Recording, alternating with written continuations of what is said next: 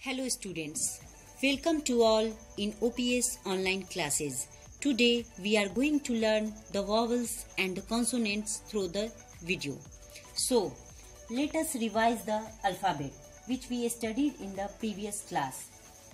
Capital A, small a, capital B, small b, capital C, small c, capital D, small d, capital E, small e, capital F, small f, capital G, small g, capital H, small h, capital I, small i, capital J, small j, capital K, small k, capital L, small l, capital M, small m, capital N, small n, capital O, small o, capital P, small p, capital Q, small q, capital R, small r, capital S, small s, capital T, small t, capital U, small u, capital V, small v, capital W, small w, capital X, small x, capital Y, small y, capital Z, small z. We know that there are 26 letters in the English alphabet family. So we talk about vowels and consonants. Here the letters A, E, I, O, U are vowels. Other letters other letters than vowels are called consonants.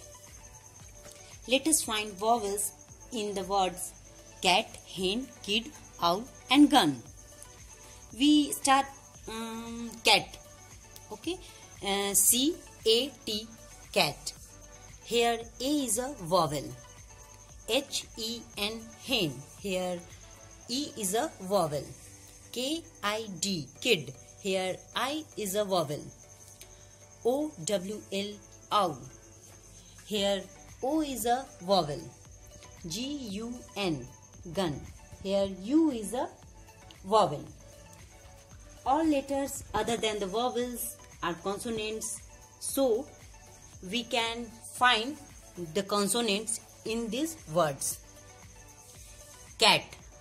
C and T are also consonant. H E N hen. In this word H and N are consonants. Kid K and D are consonants. O W L owl. In the word owl W and L are consonants. G U N gun. In the word gun G and N are also consonants. Students that's all for today and we will present the video of second lesson soon. Thanks.